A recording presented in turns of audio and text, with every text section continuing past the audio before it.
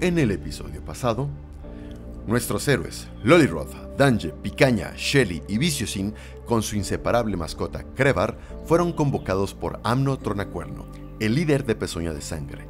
Tras el ataque de los primalistas, la villa perdió su Elementium, mineral sumamente raro extraído directamente del plano elemental y que los Tauren adecuaron por medio de rituales para favorecer el acceso y uso del agua en todo el pueblo.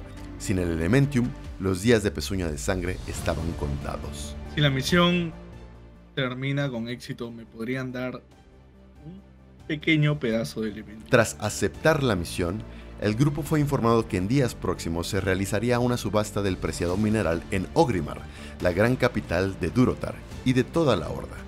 Así que los aventureros y un gran saco con los últimos ahorros del pueblo se encaminaron al punto de vuelo más cercano. Confío más en Krevar que en nuestro amigo ladrón, ¿eh? Siendo que los caminos de Mulgor son constantemente abordados por bandas de javaespinas bandidos, Vicios impuso en uso sus habilidades de guía y cazador, librando al grupo de tales encuentros. Ok. Más 5. Más, más 5, 16. Ok. Está bien. No pasa. Déjame ver si hay, hay, hay tirada enemiga encontrada. Directo al muere, vamos. ok. No, pero sin problema. En un par de días pudieron atravesar por el descampado, ahorrando quizás todo un día de viaje. Para llegar al punto de vuelo en Taurajo, tendrían que atravesar la Gran Muralla, y precisamente ahí, al pie de la imponente entrada, al límite de Mulgor, donde numerosos afectados por los ataques hacían campamento de paso rumbo a un mundo mejor, los héroes conocieron al mercader Viula, aprovechando el constante tráfico de gente en la zona, quien no desaprovechó la oportunidad de ofrecer sus productos. Tras pensarlo mucho, y no sin unos cuantos desencuentros con el mercader, los aventureros prefirieron no gastar el oro que les habían otorgado para la misión y continuaron su viaje a Taurajo, en los baldíos del sur. Porque les tomó todo el día venir para acá, este, llegan al, al amanecer, están cansados. Tras un día más de camino, al anochecer, dieron al fin con el lugar.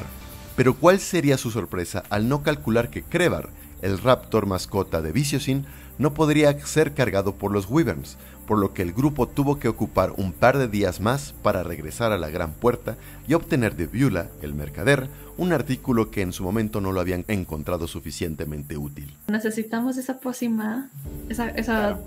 Esa- para hacerle más pequeño al Raptor y que se lo lleve en la bolsa. De regreso a Taurajo, perdiendo la ventaja de tiempo que habían conseguido, los aventureros al fin emprendieron el vuelo, siendo asombrados por una vista de los territorios de Kalindor que nunca antes habían experimentado, desde las alturas. Al inicio del tercer día de vuelo, nubes de tormenta amenazaban el firmamento. Sin embargo, Viciosin, el experimentado cazador del grupo, aseguró que no había nada que temer. Porque si volamos así, creo que hasta podríamos caernos.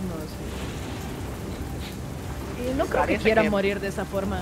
Nos va a agarrar la lluvia mediante. en el medio del viaje. Obviamente. Si quieres, haz un tiro de naturaleza. Ah, Me equivoco. Bueno, Tres horas de vuelo en tempestad que acortaba notablemente la visión y el oído dejó en muy mala posición a los héroes cuando estos fueron sorprendidos por el ataque furioso de un Weaver imbuido de energías elementales.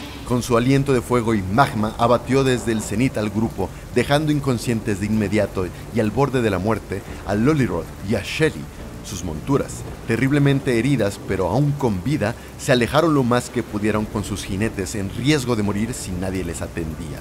Mas la voluntad de los héroes no conoce límite, y tanto la guerrera como la maga despertaron de su estupor y pudieron incorporarse para ayudar a sus compañeros quienes no podían liberarse de la aberración elemental. Sumamente heridos, todos estaban plenamente conscientes que sería una batalla imposible de ganar. La balanza favorecía lo contrario, la muerte de todos y cada uno de ellos. El único plan de acción posible sería intentar huir. Tal vez así, solo uno de ellos perdería la vida. Voy a tratar de hacer lo último que puedo hacer. Como estoy tan cerca, voy a lanzarle un cono de frío para ver si puedo. Mientras el resto se perdía entre las nubes de tormenta, Shelly, con apenas vida suficiente para no caerse de su montura, encaró a la enorme bestia y conjuró su cono de frío en un último intento desesperado para salvar a sus amigos. Y Weaver, imbuido en calor elemental, a punto de arrojar nuevamente su aliento sobre la maga renegada, de pronto se vio entumecido por fríos antinaturales. La escarcha le cubría y apagaba su ardor al máximo. Incapaz de moverse, el peso le ganó y cayó abruptamente al vacío perdiéndose entre las nubes. Tan solo fueron unos segundos. Pronto el congelamiento se dio a su furia abrasadora una vez más y el monstruo regresó a terminar lo que había comenzado.